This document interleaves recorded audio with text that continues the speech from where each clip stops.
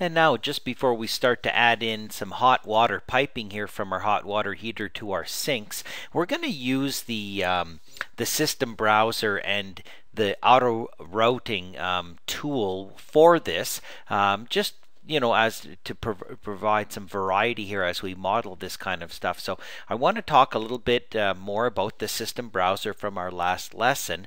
Um, so if we for instance let's at this point we're using a model that's already predefined. So everything in here is already part of a system. If you hover and you hit tab and tab and tab you can see that that's part of different systems as you're tabbing.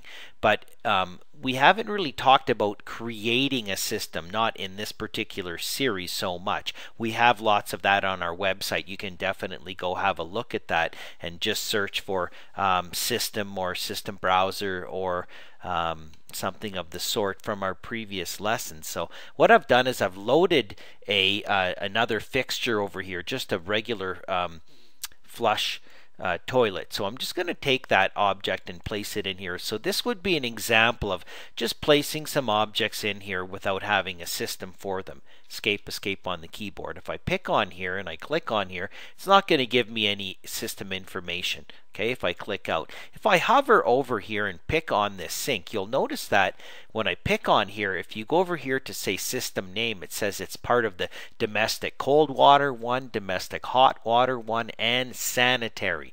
If you pick on this toilet, it's going to tell you over here that it's part of the domestic cold water one and sanitary one. So these objects already know what part of um, what system they're in. So watch what we can do. I can use a control button to pick these three toilets as an example. And I go up here to see a create system. This is how you get it into a system. And I hit piping.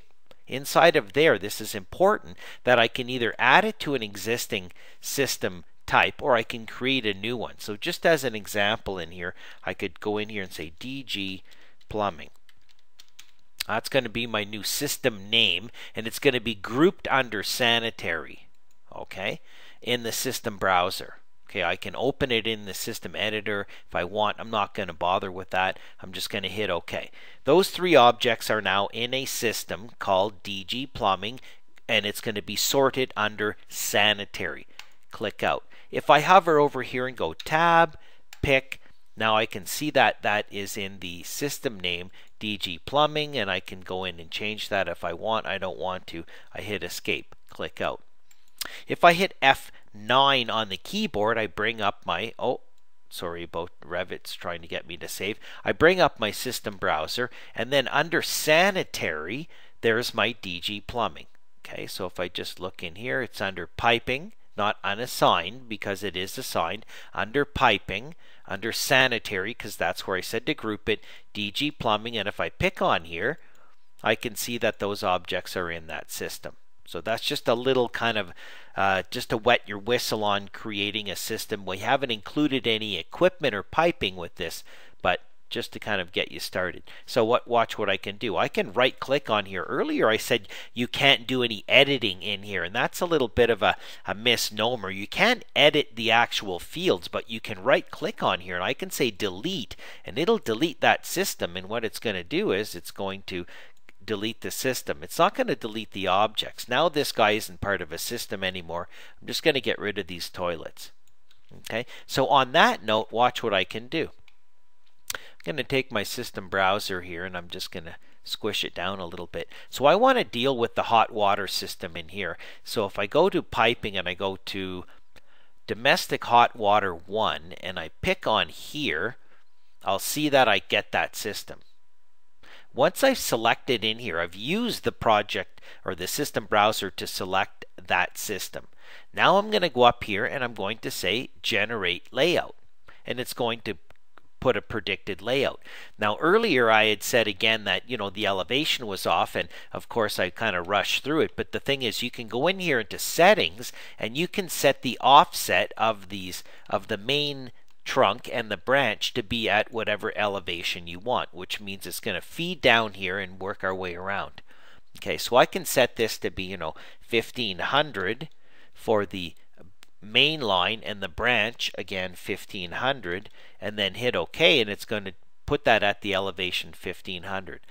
In fact, I like the elevation um, settings here. I like that elevation of 400, which is about 16 inches. Okay, and you want to set that for both the branch and the main. I know you'll forget to do that and hit OK. And then after that, we can go like this and hit click, click, click. And you can try to get one that's kind of close and you can also go in and shift and swivel around. So if I look at that, I think, you know what? That's pretty good. You know, that's not too bad. So then if I want to tweak it a little bit, all I have to do is go in here and say edit layout and pick on here, pick, and then move it over a little bit. Okay, I can pick on here. Can I nudge? No, I can't nudge. I have to pick on here and just kind of pull it over a little bit. Okay. If I don't like it, I can go uh, back to the solutions and say next, next, next. Okay. Uh, and I can add and remove to the system. But you know what? That actually isn't too bad. I don't mind that. So I'm going to say finish and let it auto route that. See how it works. Click out. Okay. Now, we might not have such good luck when we do it with the cold water because the cold water's got to connect 1, 2, 3, 4, 5, 6, 7, 8, 9, 10 different uh, fixtures. So the cold water might be a little bit trickier. But if you zoom in here, I'm just going to close off my system browser, um, and we look at that, you know, it, it was smart enough to know where the hot water connectors are.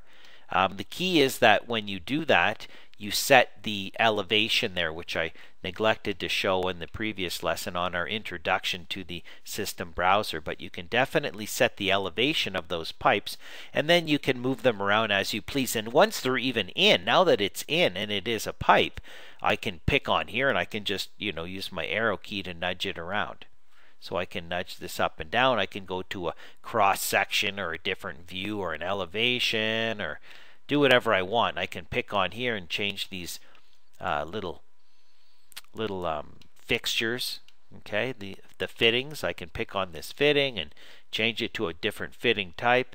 If I pick on here, I'll notice that it's you know it's in the correct system, domestic hot water, etc., etc. So really good example of um, using the system browser and using the auto routing uh, for the piping to our um, hot water fixtures.